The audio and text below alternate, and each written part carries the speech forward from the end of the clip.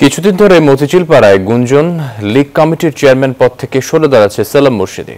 তবে এখনই এই দায়িত্ব থেকে অব্যাহতি পাচ্ছেন না বলে জানান খোদ প্রফেশনাল লীগ কমিটির চেয়ারম্যান। বাফুফে ভবনে বিপিএল এবং বিসিএল নিয়ে বৈঠকের পর সাংবাদিকদের কথা বলেন তিনি। শরীফ রসনের রিপোর্ট।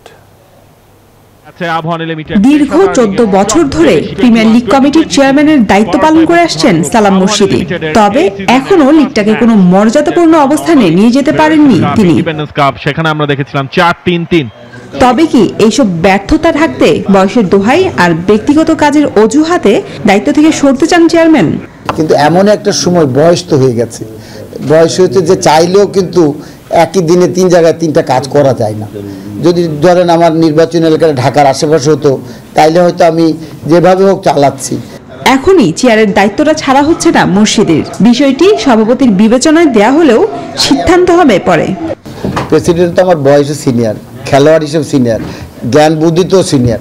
ওনার কাছে আমি যদি একটা জিনিস কোনো কিছু প্লেস করি ডেফিনেটলি উনি আমার জিনিসটাকে বাস্তবতাটা ফেস করে উনি একটা সঠিক সিদ্ধান্ত দেবেন এটা আমার বিশ্বাস তবে লিগ কমিটির দায়িত্ব ছাড়ার কথা প্রকাশ করলেও থাকছেন অর্থ এবং রেফারেন্স কমিটির দায়িত্বে